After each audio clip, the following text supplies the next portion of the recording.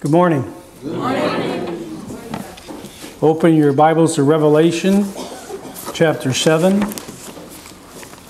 Last week we saw concerning the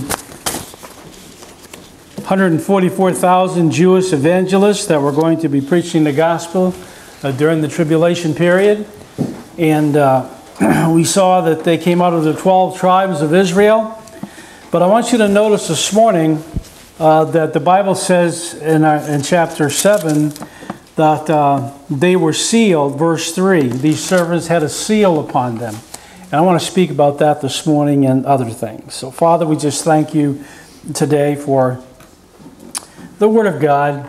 Thank you, Father, for the heart of worship. We love you, Lord. We thank you that we can come into the house of God and meditate upon you and repair our hearts so that we can be ready Holy Spirit, to you to speak to us through your word. Bless the word of God this morning, and we'll thank you in Jesus' name. Amen. Amen. When you look at these 12 tribes and 144 messengers that came out of there that preached the gospel uh, during the tribulation period, I want you to notice the Bible says that they were sealed. What is the nature of that seal is the question. Well, well, we are not told what the seal looks like. It just says they were sealed. What it consists of, we don't know that either, but we find in Revelation chapter 14, turn over there a minute, in verse 1. Revelation chapter 14, and I want you to notice verse number 1. And behold, and I looked, and lo, a lamb stood on the Mount Zion, and with him 144,000 having his father's name written in their forehead. So probably that's what the seal is. Interesting, isn't it? And don't you find it also interesting that perhaps this is where the devil got his idea by putting the mark of the beast on the yeah. forehead of his yeah. people? Yeah. That's just how the devil works. Right. He copycats God. Well, if God can put a seal on his people, I'm going to put a seal on my people, Satan says. So they have a mark too, which is 666. We'll learn later on. What is the significance of this seal? Well, in Scripture, a seal means three things. Number one, a seal is a mark of ownership. When there was a seal put on somebody, a slave or anything like that, they were marked with a seal, with a slave was an earring uh, in the ear and uh, that was their seal, their mark uh, to um, know that they were a master slave forever. Also, you the Roman, all the Roman Empire, anybody who was a king in authority, uh, if something was sent out by letter, they had a seal. The, today, we do the same thing when we want to notarize something. You take it and you get, you get there's a, a circle seal there. So, so it's a sign of ownership. It's a sign that it belongs to you. And so the 144,000 Jewish evangelists, they, they were of God. God picked them out of the 12 tribes of Israel and marked them and said, These are my people, my evangelists, and they belong to me me. Just like when you became born again, the Bible says in John 1.12, But to as many as receive him, to them gave you power to become the sons of God. That's your seal. Amen. You are a child of God. And the second seal, the Holy Spirit, Amen. who dwells in you, is that seal of redemption. Yes. You own, you are owned by who? God. God. You, we are not our own. We belong to Him. Praise God. Amen. Since we belong to Him, He knows how to take care of us. Amen. He knows how to clothe us, feed us. He knows what's good for us. And He, and he takes care of us perfectly well. Amen. Amen. Sign of ownership. God marks these Jews as a special possession. Secondly, a seal protects. Look at Matthew 27 for a second in Matthew chapter 27. And I want you to notice uh, verse 66. Matthew 27, verse 66. The Bible says here, let me get over there. So they went and made the sepulchre sure, what? Sealing the stone and setting a watch. So when they sealed our, uh, our Lord's tomb, that meant what? They were there, it was sealed, and they were there to protect that seal in case anybody came to try to steal away the body of Jesus Christ. So they sealed it. Also, you have to turn here in Esther chapter 3, verse 12, 1 Kings chapter 21, verse 8. A seal is a mark of authority. Anybody who had a seal on him was a mark of authority. And so we find that God authorizes and authenticates that these 144 Jews and that they are his special servants sent out by his authority. Nobody could stop them unless God allows it. And so, the, praise God today that you who are born again this morning, praise God that Jesus Christ lives and reigns within us. Amen. He sealed us until the day of redemption, Ephesians says. And praise God, He owns us. He is our authority. Make it simple in terms Jesus Christ is our boss. Amen? And we're His servants. It's that simple. Now I want you to notice also the multitude that comes out of the great tribulation, beginning in verse number 9 all the way to verse 17. After this I beheld, and lo, a great multitude which no man could number of all nations and kindreds and people and tongues stood before the throne and before the Lamb, clothed with white robes and psalms in their hand, palms in their hands. And they cried with, a, cried with a loud voice, saying, Salvation to our God, which sitteth upon the throne, and unto the Lamb. And all the angels stood round about the throne, about the elders and the four beasts, and fell before the throne on their faces, and worshipped God, saying, Amen, blessing and glory and wisdom and thanksgiving and honor and power and might be unto our God forever and ever. Amen. And one of the elders answered, saying unto me, What are these which array in white robes, and whence came they? And I said unto him, Sir, thou knowest? And he said to me, These are they which came out of the great tribulation, and have washed their robes, and made them white in the blood of the Lamb. And therefore, as they before the throne of God and serve him day and night in his temple, and he that sitteth on the throne shall dwell among them, they shall hunger no more, neither thirst any more, neither shall the sun light o'er them or any heat. For the Lamb which is in the midst of the throne shall feed them, shall lead them unto living fountains of water, and shall wipe away all tears from their eyes. I want you to notice this, this, this what's described here. Notice it's immediately after the sealing of the 144,000.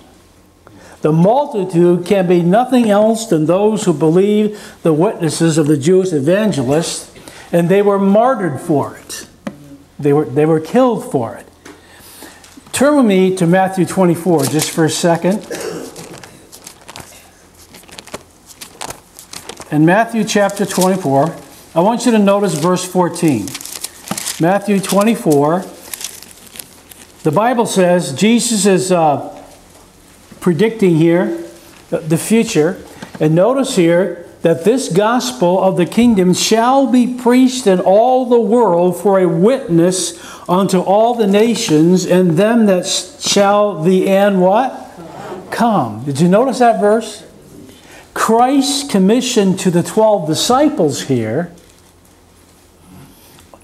when you look at Matthew chapter 10, verses 1 through 23, it looks beyond the time of Christ's earthly ministry. He's talking about future here. All right? And then in Matthew chapter 10, turn to Matthew chapter 10. In Matthew chapter 10, I want you to notice verse 17. Matthew 10 17 says, But beware of men, for they will deliver you up to councils, they will scourge you in the synagogue, and ye shall be brought before governors and kings for my sake, for the testimony against them and the Gentiles. But when they deliver you up, take no thought or how what ye shall speak, for it shall be given you the same hour what ye shall speak. For it is not ye that speak, but the Spirit of your Father which speaketh in you. And a brother shall deliver up brother to death, and father to child, and children shall rise up against their parents, cause them to put them to death. And ye shall be hated of all men for my name's sake, but he that endureth to the end shall be what? Saved. Now that Greek word saved does not mean salvation. It's talking about deliverance from the persecution. So when you compare Matthew 24, Matthew 10, 17 through 22, this did not occur during Christ's earthly ministry. This is still future. When you get down to verse 23, it can only apply to the time of the tribulation just prior to Christ's return. And that's what you have here in our text in Revelation here. So, the Jewish evangelists during the tribulation will probably be able to do miracles just like the apostles did. They're going to do the same type of miracles. We know that from Matthew 10 8 and Luke chapter 10, verses 1 through 20. And so these 144 evangelists are going to do great miracles, and just like the apostles did during that time, during their earthly ministry.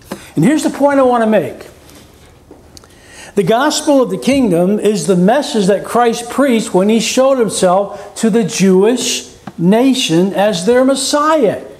Did he not say that he that well, he preached forth the what? The kingdom of God is at hand. It's the same message during the tribulation period. He warned them to repent, but what happened? They rejected the Messiah. When Christ was rejected by Israel, he turned to the Gentiles. Amen? Aren't you glad? Amen. We're Gentiles. We're not Jewish. So it's kind of sad and yet happy at the same time. It's sad that the Jews said, No, we don't have nothing to do with you, Christ. So he went to the Gentiles and we gladly yeah. received him. Praise God. There's not a born again Christian in this room that should never be upset with the nation of Israel. If it wasn't for the nation of Israel, we wouldn't have a we wouldn't be saved. We wouldn't have a Messiah. We wouldn't have a Savior. We wouldn't have the Word of God. It's all because of the Jews. We got all that. That's why the Bible says in Romans, we were grafted in and we've been adopted into the family of God. Amen. So every time you witness to a Jewish person, you can tell them, hey, I'm Jewish. Yeah. And you're not lying. That's right. That's right. Because we are part Jewish. We got adopted yes. into the Jewish nation. Yes. We got saved. So what happened? They rejected the gospel. And so they turned to the Gentiles. And from that point on, when Jesus sent it up into heaven, that's when the church age began. We're in the church age right now. We're preaching the gospel, people are getting saved, and churches are being built and planted. This is known as the church age. Now, he was not caught by surprise at his rejection. Jesus wasn't. It was prophesied in Scripture. So now Israel has been put aside until the church age is over.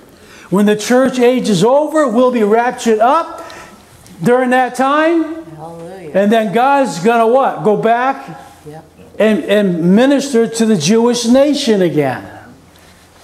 We're not going to be here. We're going to be up in heaven. And during that time, when he goes back to minister to the Jewish nation with the gospel of the kingdom being preached, that's during that tribulation period. We're going to miss that, praise God. Now, some believers don't believe that.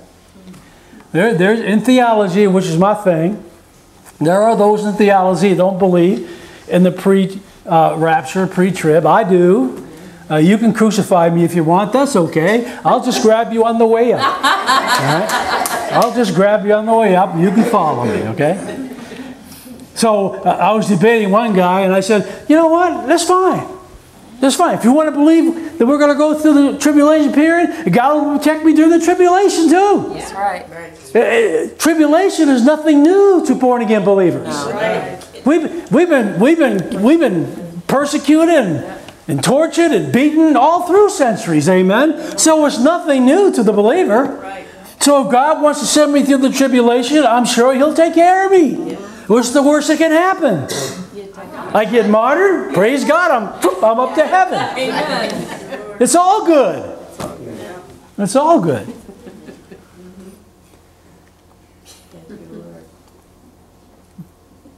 So praise the Lord, amen. amen. It's, it's all good. Now, what's interesting here, too, in the meantime, for the last 2,000 years, the gospel has been preached to the ends of the earth.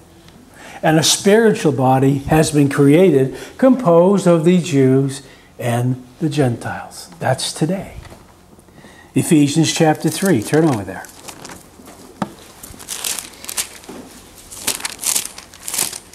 In Ephesians chapter 3, verse 4. Ephesians chapter 3, beginning in verse 4. Whereby when you read, you may understand my knowledge of the mystery of Christ, which in other ages was not made known unto the sons of men, as it is now revealed unto his holy apostles and prophets by the Spirit, that the Gentiles should be fellow heirs and of the same body and partakers of his promise in Christ by the gospel. That we, the Gentiles, so praise God. That when we preach the gospel Sunday mornings, Sunday nights, and Wednesdays, when people get saved, that that the body, they enter the body, the spiritual body that Jesus is building right now. This uh, per, uh, parentheses falls between the 69th and 70th week of Daniel in chapter 9. When the Gentile church is complete, God will restart Israel's clock, and the 70th week of Daniel, Daniel chapter 9, verse 27, will be fulfilled. Look at Romans chapter 11.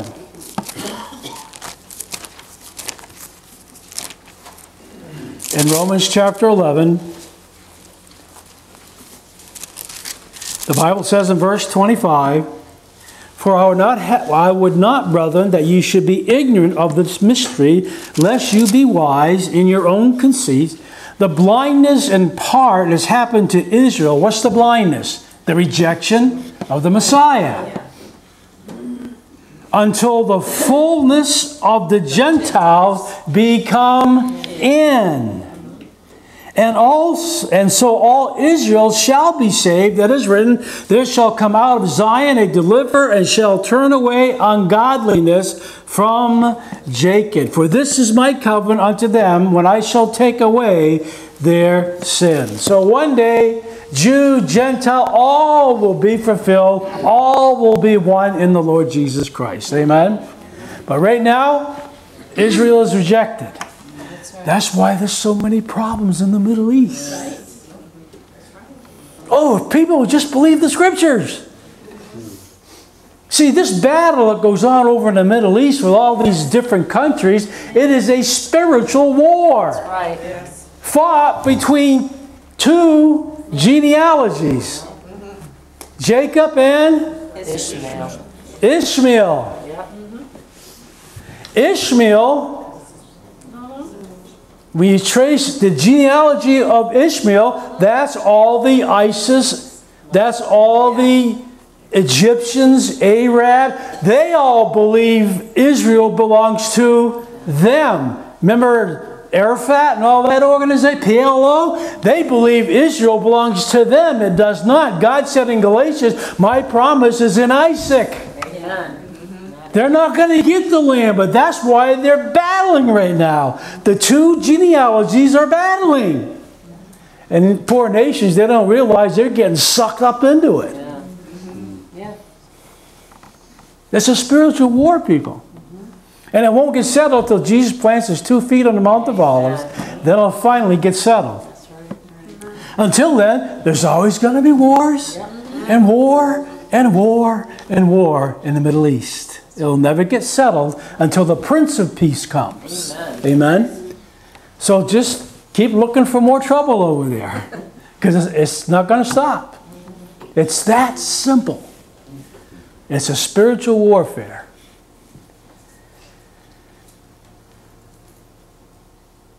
when you look at the Gentile, the church, when it's complete and everything's fulfilled, here's the point. At the time of the Lord's focus will be again upon Israel and the establishment of the kingdom promised in the Old Testament. And the Jewish evangelists will go forth preaching repentance of the kingdom of God is at hand. In our text in verse 9 and 10, notice the multitudes come from all nations and what? Verse 9 tongues. God loves the world, the whole world, and desires to save all men. I marvel that God still lets the gospel being preached during this tribulation time. I marvel at that. He didn't have to. I mean, after all, they rejected the Messiah. After all, they've been persecuting the church for, for thousands of years, and now that the church is God, you would think, okay, I'm done with these people. But no, even so, he sends 144,000 to preach the gospel of the kingdom. During the tribulation, God's wrath is poured out upon sinners. His mercy is still extended to those who will repent and believe. Only problem is back then, but during them, when they get saved, they're going to be martyred. We'll see later on in the chapters, the, the one world dictator will not allow that. Because he wants to be worshiped. He thinks he's God. And when they refuse to bow down to him, they're going to be killed.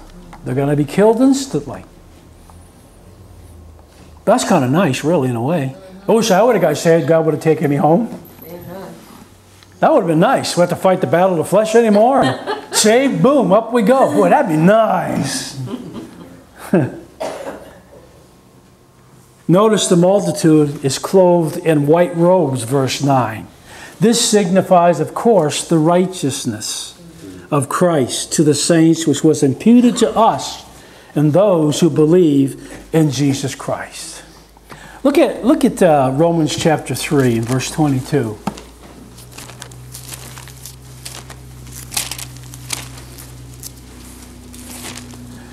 In Romans chapter 3, I want you to notice verse 22. The Bible says here, even the righteousness of God, which is by faith of Jesus Christ unto all and upon all them that believe, for there is no what? Difference. Did you catch that? When you, when you put your faith in Christ, He imputes Christ's righteousness to you yes. and I. In other words, when God looks at us, He sees righteousness. Amen. Praise God. Look at uh, Revelation chapter 7, verse 14. Revelation chapter 7, and I said unto Sir, thou knowest, he said unto me, These are which came out of the great tribulation, have washed their robes and made them white in the blood of the Lamb. White, righteousness. Same thing in Isaiah 61, verse 10 in your Old Testament talks about that. Praise God this morning that we are clothed in the righteousness of Christ. If God did not impute righteousness unto us when He got saved, when He looked at our hearts, all He would find is wickedness and sin. He wouldn't find anything good because the heart's no good, believe it. Amen? Pastor, my heart's, no, it's good. No, it's not. Don't fool yourself. The heart is wicked, desperately wicked. Who knows it? Nobody really knows it except God. I've often said, I hear people use the quote Psalm, you know, David said, you know, search my heart and see if there be any wicked way in me. Be careful. Yes. Be careful, because you're asking God to search your heart. Uh, you, you might not like what He reveals to you. what you need to know. yeah, amen. It's good to know. But remember, when you ask Holy Spirit to search your heart, He will. Mm -hmm. And He'll expose what needs to be taken care of. Amen? Yeah. And that's a good thing. And that's not such a bad thing. Notice here, also in verse number 9, the multitude hold palms. The palm branches were used in Jewish worship a lot and signified joy and thanksgiving and deliverance. Yeah, we, we came to a Jewish worship time, they held up the palms, they waved them back and forth in worship. Amen. God help us we ever did that in a Baptist church. Can you imagine walk in, people have palms in their hand? I can imagine what go through their mind. But, but you know what? It brought joy. I, I find it very interesting. Look at Leviticus chapter 23.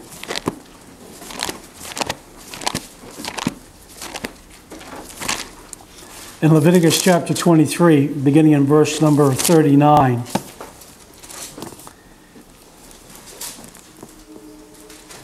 Leviticus chapter 23, beginning in verse 39. Also, in the fifteenth day of the seventh month, when ye have gathered the fruit of the land, ye shall keep a feast unto the Lord seven days. On the first day shall be a Sabbath, and on the eighth day shall be a Sabbath. Ye take to you on the first day boughs of goodly trees, branches of what? Palm trees. And the bough of thick trees, and willows of the brook. And ye shall rejoice before the Lord your God seven days. Ye shall keep it as a feast unto the Lord seven days a year. Ye shall be a statue forever in your generation. You shall celebrate it on the seventh month. That's a weird way of worshiping, huh?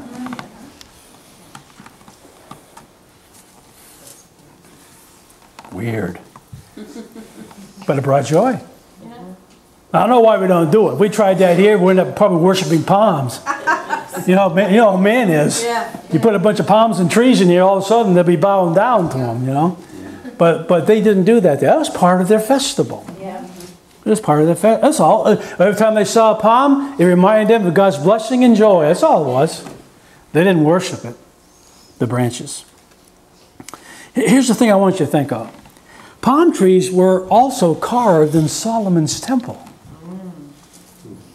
and will be featured in the millennial temple as well.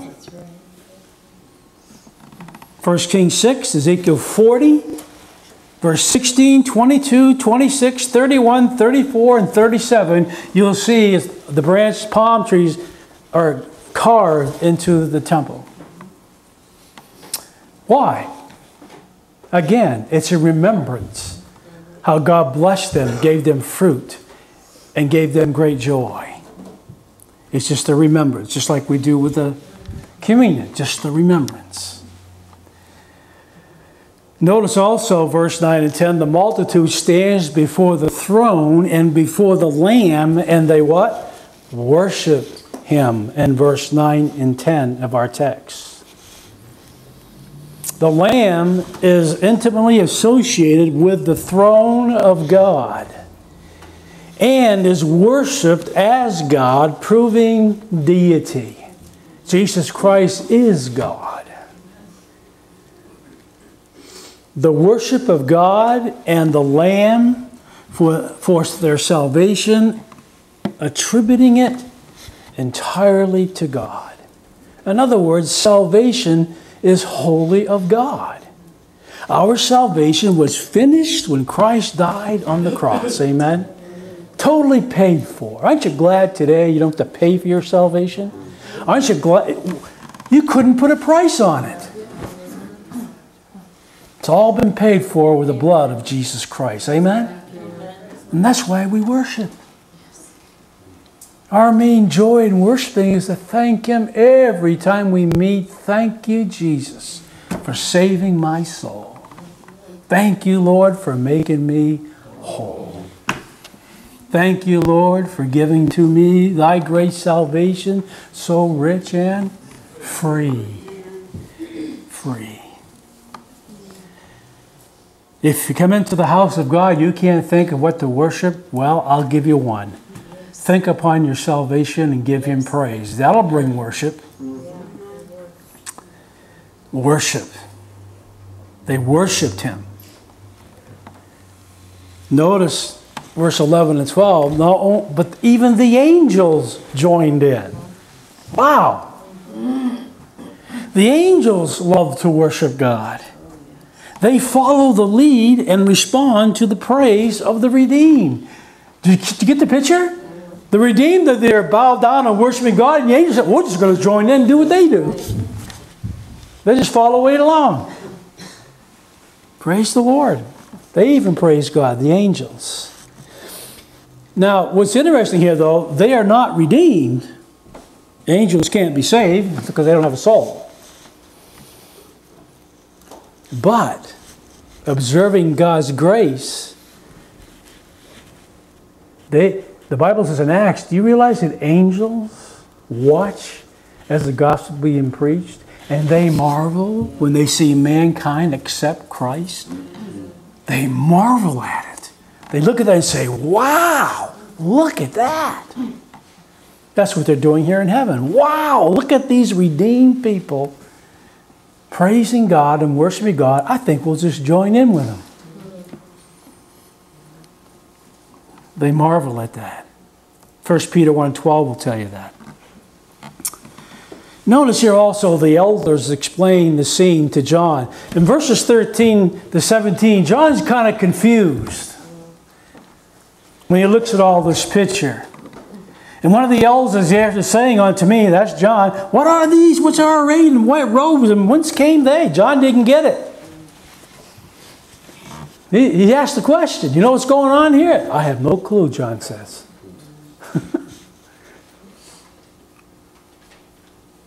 John does not know the answer to the elder's question and asks him to explain. Here we see 24 elders are knowledgeable about the will of God and the mysteries of God. We see here John's wisdom. You know what I like about John here? You see John's wisdom here? I don't get what's going on, so he's asking the elders for help who are more knowledgeable than him. Now that ought to ring a bell. Look at Acts chapter 8.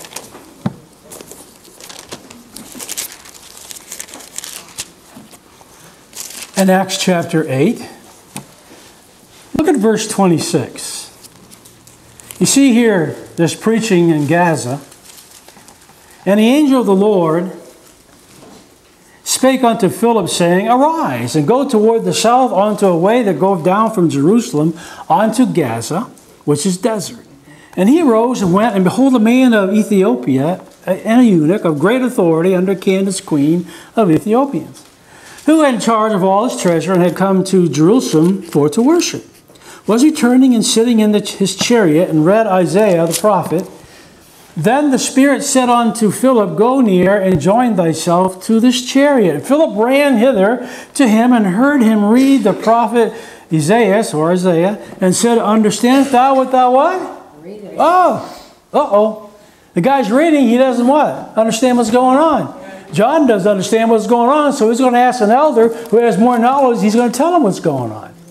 Just like Philip finds this, uh, this guy, and he said, How can I accept man, some man guide me? And he decided Philip that he would come up and sit with him in the place of the scripture which he read was this he was led to sheep for the slaughter, a lamb dumb before his shear, so opened he not his mouth. And in humiliation, and you know the story. So Philip the evangelist goes, explains what's happening. The guy, oh, I got it, gets saved and is baptized.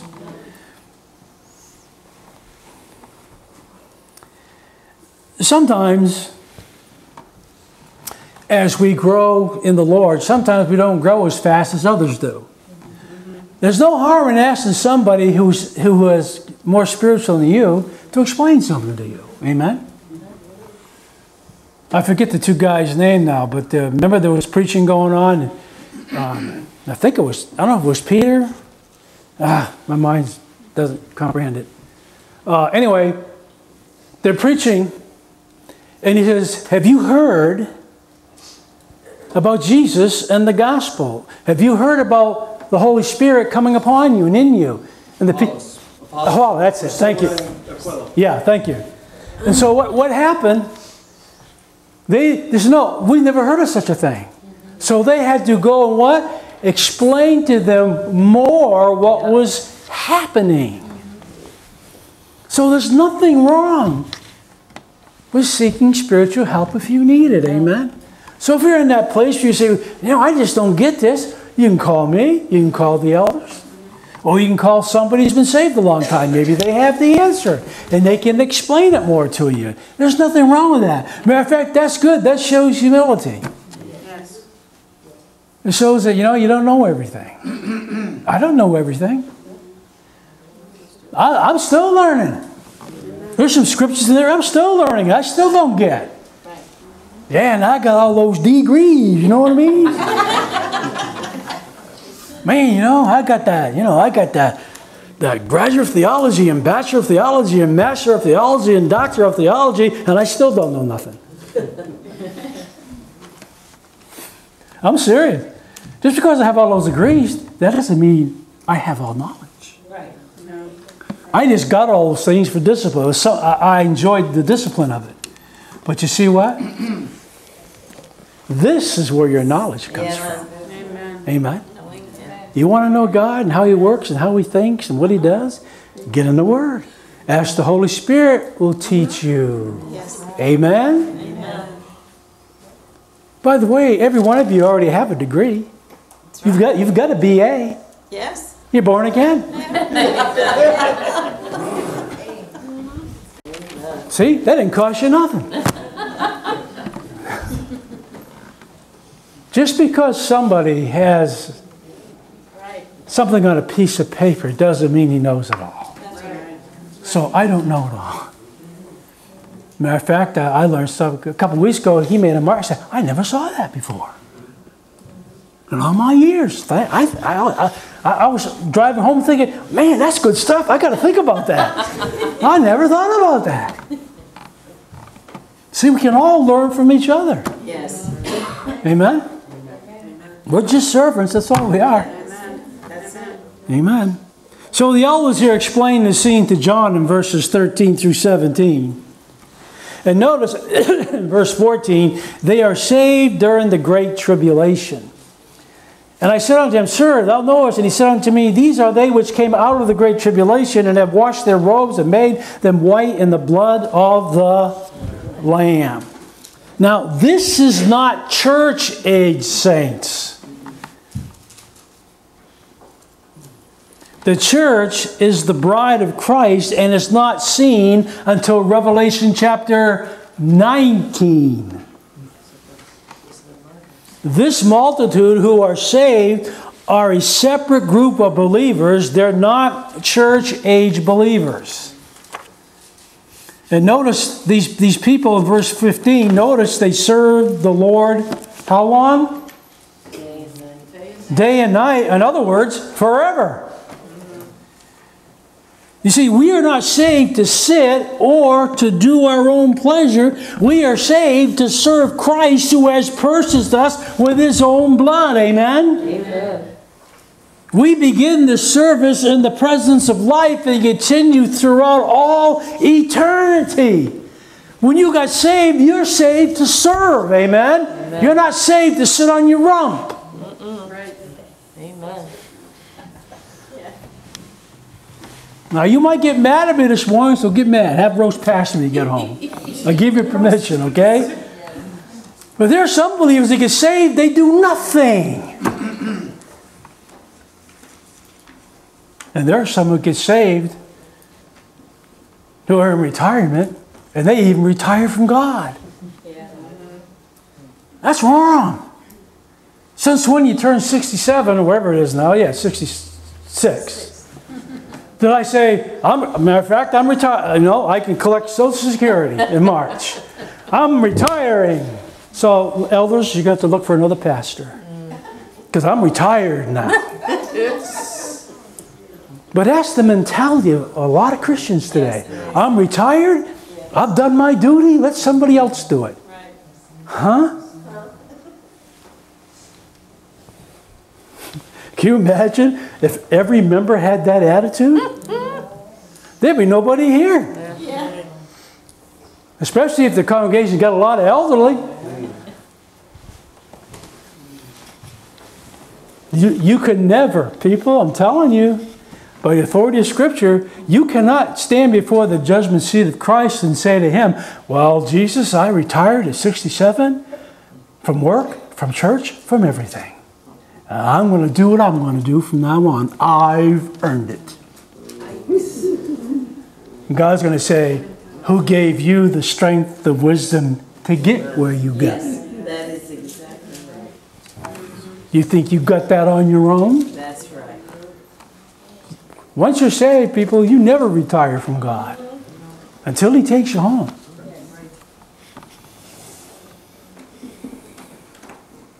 That's just my two cents. Notice they serve the Lord forever. Imagine, can you imagine standing before the throne of God in eternity and say, No, I'm not worshiping you today, Lord, I'm retired? I don't think so. Notice verse 15. They dwell with God forever, too, to commune with God. Therefore, they before the throne of God serve Him day and night in His temple, and He that sitteth on the throne shall dwell among them. That's communion, that's fellowship. What a great privilege this morning this is fellowshipping with the living God. What a privilege. Wow. Think, meditate on that today. What a privilege.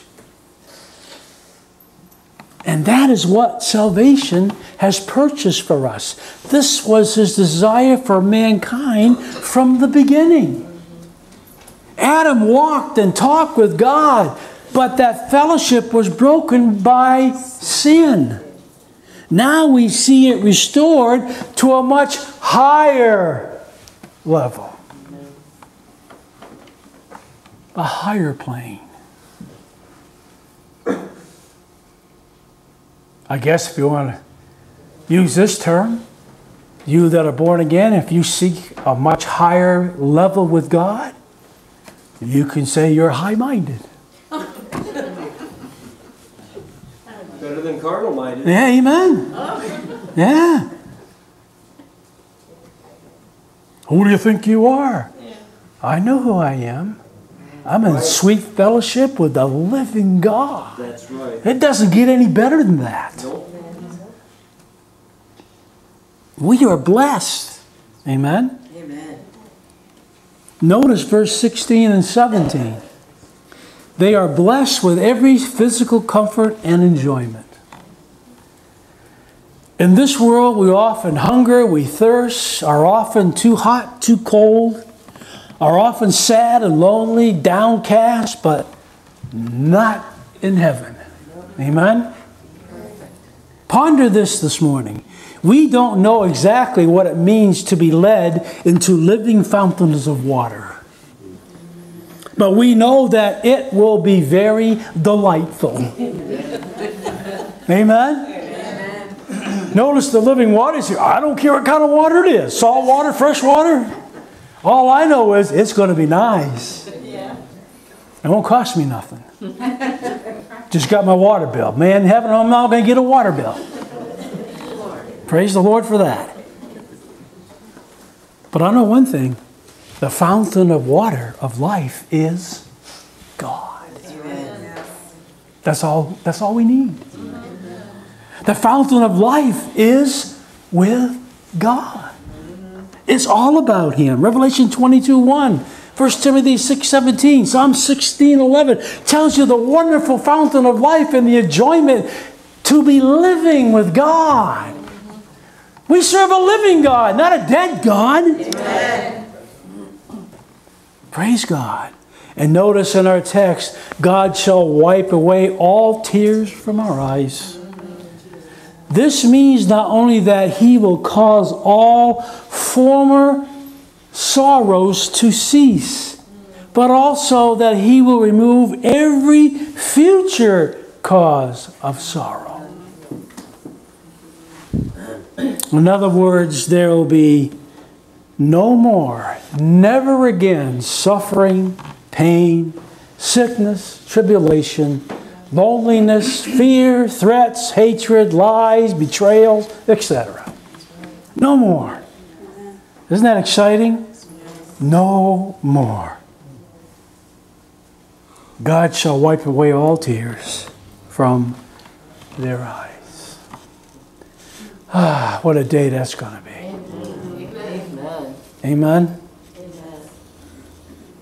Nothing to worry about ever again. Okay, see, as human beings, we have, there's always one thing that I consider a pain in the neck.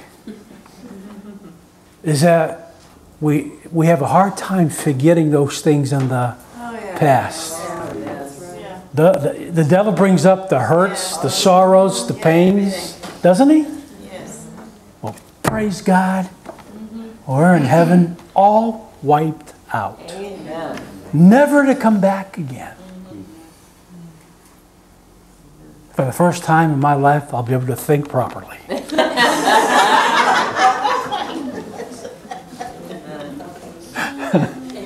I can finally think straight. Amen. Heaven's going to be a great place. Amen. So, in the meantime, we need to get that gospel out, minister in the town, because people need to hear the gospel. And they need to be saved so they can enter heaven. Amen. Next week, we'll look at Revelation chapter 8. And in Revelation chapter 8, you see Christ releases the first six trumpet judgments under the seventh seal. And they're not pretty. They're not pretty. So, in the meantime, let's serve the Lord. Amen. Let's worship the Lord. And by the way, even worship on a Sunday morning, as it gets better and better, and it is, it's still not perfect worship. It's really the best we can do is sinners saved by grace. Just think when you get to heaven, we're going to fall down for the first time and worship properly. Wow. I can't imagine what that's like. No more Satan to bug us. No more Satan to put thoughts in our mind. All gone. No distractions at all. The only one that's going to distract us is the Lord Jesus Christ. As we bow down and say, Holy, holy, holy, Lord God Almighty. Thank you, Jesus. Thank you, Jesus. Lord, thank you for this day. And Lord, if there's one here that's not saved, may they come to the Savior this morning, realizing that sin pays a terrible price. The price is death. Death without Jesus is separation from God for all eternity. I pray that they'd repent this morning of their wicked ways and ask Christ to come into their heart. And we'll thank you in Jesus' name. Amen.